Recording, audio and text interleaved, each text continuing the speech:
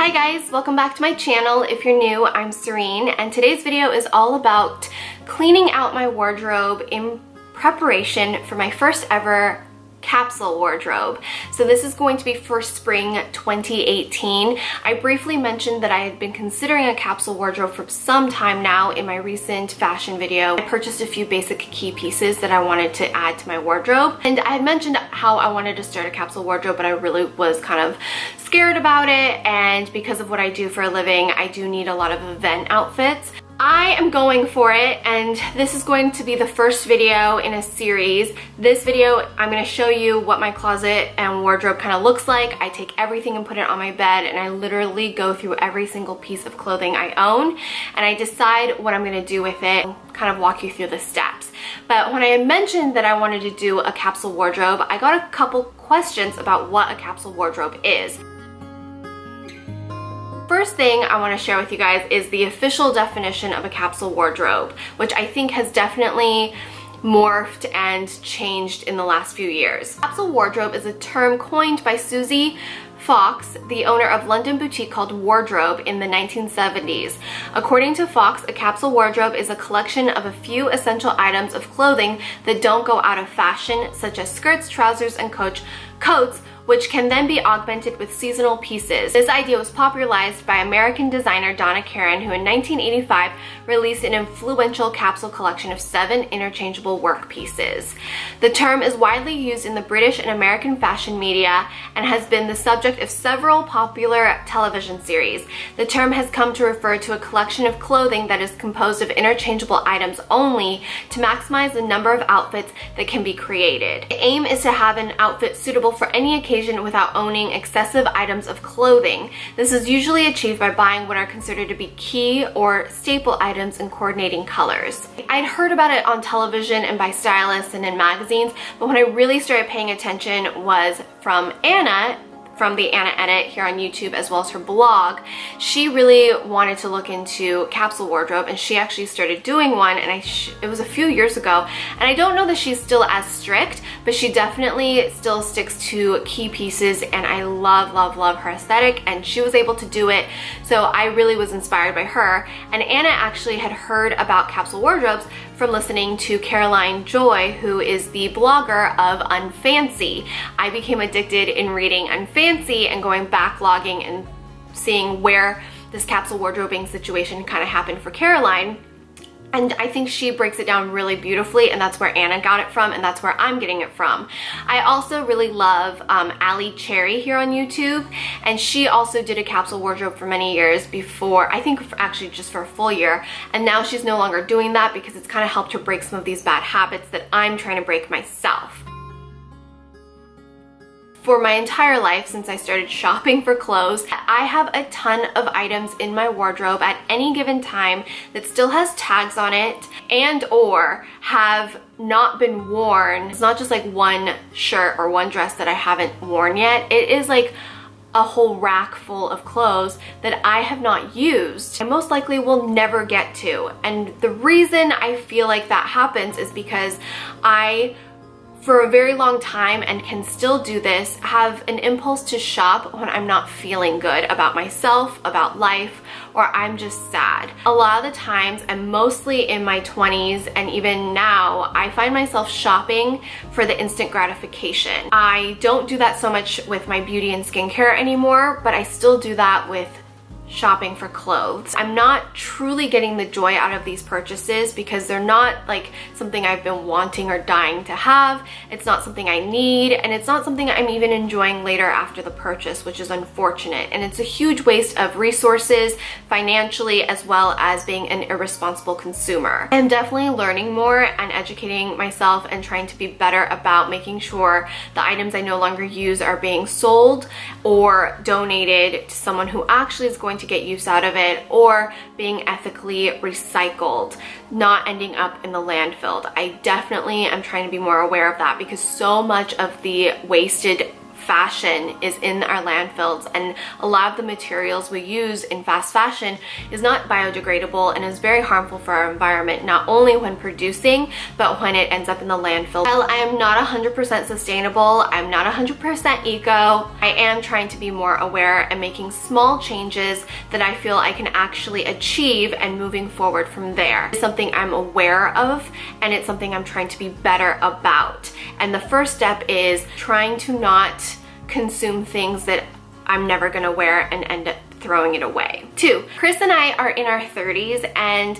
whether or not we consume things without thinking about it, we definitely prefer quality over quantity at this point in our life and we find that quality means more to us and we value it more anyways. It makes more sense for us to invest our money and spend our money on one really good piece versus 20 somewhat okay pieces or cheap pieces that will fall apart in a wash. And we want to support the brands that provide that. My main goals for my personal capsule wardrobe and doing this huge clear out for spring is one, I've been feeling really uninspired, really blocked creatively, and also just kind of like fed up with myself. And I feel like I can do better and I want a change. So I definitely wanted to challenge myself and step into this fear of not having enough. I definitely have that mentality. Um, I I was raised by immigrant parents where we saved everything, we hoarded everything. If it was free, if it was cheap, we would buy it and save it and hoard it from food to random things we would never use or need. I don't know that it's all immigrant parents, but it's definitely my immigrant parent experience. That has definitely seeped into my personal adult life. I want to feel clearer. I want to feel less cluttered. I want to get the use out of the things I do have. I want to love everything I own. And I want to be okay with having less. I want to challenge myself creatively in making different outfits with what I do have. When I have too much in my closet, I can tend to wear the same three things because I'm so overwhelmed at looking at my closet. I stop doing the instant gratification and shopping therapy. There's nothing wrong with shopping, I just was doing it during times of stress and depression when I really should try and find a better way of coping because instant gratification isn't helping and it doesn't really do anything other than spending money that I don't need to spend, um, taking a broom I don't want to give up, and cluttering my life. My biggest fear is not having enough pieces to create enough looks for three months before I can shop again. And I also worry that my life is very up in the go. So if I suddenly have to go on a trip or suddenly there's like a night gala or something like that, I don't have the clothes for it.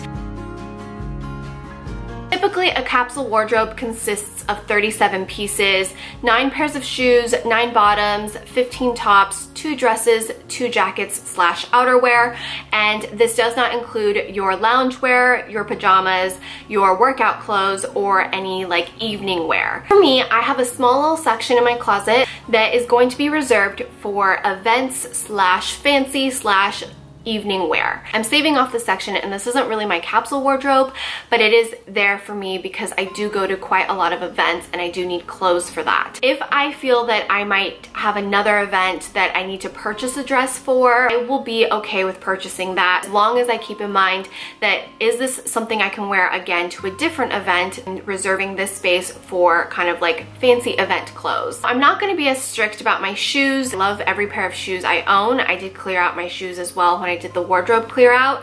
So I'm gonna keep everything that I love and I'm not gonna only be allowed to wear so many pairs. I'm not gonna stick strict to the 37 items, but I am going to come pretty darn close. I do have quite a lot of clothes still, I feel like, and honestly, I would like to pare it down even more, and these are the steps on how I cleared it out. This is kind of a spring wardrobe clear out in preparation for a capsule wardrobe. So I will follow up with another video once my capsule wardrobe is set. So for my first go around, I did print out the worksheet available on unfancy.com and I'll link that in the description box. A capsule wardrobe is basically, I think of it as in fiscal quarters, and I'm starting in Q2, which is spring, which is April to June 2018. That's three months of no buying until the last two weeks of this capsule wardrobe where I go through everything and prep for summer. And there's also a one page or a one sheeter that breaks everything down even further and this is for those of you guys who don't want to be as strict but maybe need a little bit help in making your wardrobe a little more efficient. The first thing that was recommended to do is to draw a pie chart of your lifestyle. I hate these things. I don't feel like my pie chart was very effective because I feel like Pie charts just make me nervous. Geometry makes me nervous. My life breaks down into work slash home work. Um, I'm home a lot working and when I'm not home, I'm at events for work. So while I spend 90% of my life working, it's very different. One, I can literally be in sweats and a t-shirt and the other, I have to be put together and look professional. So even though half my life is really revolved around um, being out and about, um, I can get away with being pretty casual as well. And then the other kind of slice of my pie is working out and lounging. So I think I'm pretty good in my workout clothes and lounge just because I don't feel like I need to update that. I buy what I want every like winter and when it's on sale for Black Friday and I'm pretty good with that. Leggings, sports bras, throw on a tank top over that very rarely have personal time and for most of my personal time I feel like I can get away with a lot of my casual workwear or I'm in loungewear because I'm hanging out at home with my husband. The next section is going to be special events and travel. What is coming up in the next three months that might require you to plan for in terms of wardrobe? So this is kind of hard for me because I don't know my travel schedule that far in advance, but a lot of people do. Like normal people with normal jobs tend to know when they take vacations. But even then, things can pop up. So I'm not really gonna worry too much about that because again, I will be flexible. I have put away my winter clothes and my summer clothes and my fall clothes up in the bins. Have to, I can pull from there for vacations or for travels in different climates. But for the most part, I think I'm gonna be okay. If it's something really that special, I'm okay shopping for it as long as I'm careful that I'm shopping for that event as well as making sure the pieces I purchase are wearable after that event. The next thing you need to consider is your weather and your climate. Um, I live in LA, which can be pretty temperate, but at the same time really weird at the like randomly. So I googled it and we do have pretty mild climate from April through June. It's supposed to be anywhere between 55 degrees to 73 degrees. Some rain, mostly sunny, chilly mornings and evenings. Sometimes it feels way colder than 55 degrees, but that's also why I kept some of my sweaters out even though I know once we get into May and June, I'm really not gonna wear these sweaters whatsoever because it just gets so hot and I'm someone who gets overheated really easily and and I need fabrics that can breathe. I need to not feel suffocated. I need to feel like I'm not sweating. And you're going to do a section of word associations. And this is just things that come to mind when you think about your wardrobe. What describes your style. So I just started with basics, neutrals, and then from there I kind of went on into like brands I like and brands I tend to find a lot of things I like and places I tend to spend my money. So I just keep going with word association and this is just to prep your mind. So then the next step is what is not working for you? And that kind of goes from the pieces you own and you never wear and why. So I find that unique fabrics that are loud are just not me. Discomfort, anything that's misshaped, if it's too tight, if it doesn't breathe, again, I get really hot easily, I get itchy. Stains, there's things that I have stains on and I never wear because I'm embarrassed that there's a stain, but I won't let it go either. Tops that don't flatter my giant chest. Um, I know my chest isn't huge in compared to a lot of people out there, but I am a 32D, so my cup size is really big from the size of my rib cage, and I'm rather petite, but my boobs do make me look bigger if I'm wearing something that doesn't flatter the larger chest area. Then I went into my closet and picked out eight pieces that I absolutely love. I wear over and over and over again and I listed them and I told myself why I love these pieces. I love my v-neck baggy waffle blue top from Urban Outfitters and it's because it's comfortable, it's soft, it's versatile, it's a neutral color but it's still a color and I wear the death out of that thing. Um, so just go through some of your pieces that you really love and write down why you love it. So what is working for me? Comfort, neutrals, no pinching, I love gray, I love soft fabrics, I love things that are easy to wash, especially especially if it's not dry clean. I love wrap dresses. I think wrap dresses are really flattering on my body. I like ankle length pants because then I don't have to hem them and I don't have all this extra fabric. I also like mid-rise to high-rise pants because I feel like they flatter my body and my shape a lot better, especially with the longer torso. I really love breathable fabrics. If the fabric is breathable, I don't feel like I smell. I also feel like um, when I get warm, I don't feel claustrophobic in the fabric. Then I write down my go-to pieces. This is kind of like what I wear all the time repeatedly. And it's loose t-shirts that can be knotted in the front or on the side, comfy knits that are soft. My go-to uniform, um, I listed seven kind of go-to uniforms for myself. The first being comfy knit and a skinny pair of jeans and my slides. My wrap dress and ankle boots, jumpsuit and my pumps I wear all the time. So comfort for me is really key and I kind of repeat the same looks over and over again just with different tops or bottoms. Then the next step is to list out the brands that you love and look at your closet, your favorite pieces and where are they from. Next section is all about color schemes. Um, you can be as fancy as you want and as creative as you want. I personally just wrote down some of my favorite colors. Mainly I wear a lot of whites, blacks, and grays with blue jeans and then I like accents of blues and browns and neutrals. For my accents accent colors, like the pop, the poppier colors. I love reds, greens, and pinks. Now that I kind of know more about myself and I know what I love and the brands I love and how things have to fit on me for me to actually wear it, you are going to empty your closet. I emptied my closet absolutely 100% completely. I threw everything on the bed and then I emptied out my dresser as well because I was hiding a lot of stuff in the dresser that I wasn't wearing on top of my closet. I have an entire walk-in closet to myself plus two dresser drawers to myself that were full of clothes I wasn't getting use out of. And the next step is to go through every single piece of clothing on your bed or in your entire house and decide whether or not you are going to donate it, recycle it, um, or you can have a maybe keep pile where you are quite not ready to let it go, but you're not sure, and you put that away and you store it. And if you still don't wear it or miss it after three or six months, you can toss it or sell it or recycle it. The items to keep, and then there's also a pile of um, off-season items. I divided my clothing into donate slash sell, recycle, off-season, nostalgia, and keep. Nostalgia was I found some sweatshirts that were from high school and means a lot to me. There's a couple shirts that my mom had bought me that I just can't let go of because I remember shopping with her for them.